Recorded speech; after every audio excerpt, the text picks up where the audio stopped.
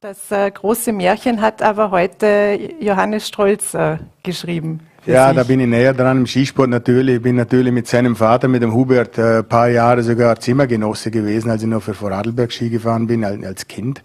Und ich habe heute noch einen guten Kontakt zum Hubert und habe das ein bisschen verfolgt mit dem Johannes.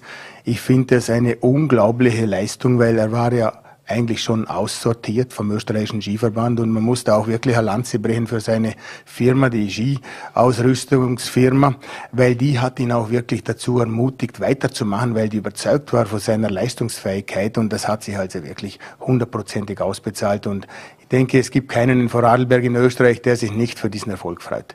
Er hatte ja wirklich keine Kaderzugehörigkeit, noch vor elf Monaten, also nicht mehr. Ähm, und dann im Jänner kam der erste Weltcupsieg, jetzt äh, das erste Olympiagold. Ähm, wie fühlt sich das, wenn man in den Kopf von Johannes Strolz blicken könnte? Was würden wir da sehen? Was glauben Sie? Ja gut, mit Weltcup kann ich mitreden, mit Goldmedaillen nicht, da habe ich keine. Ja.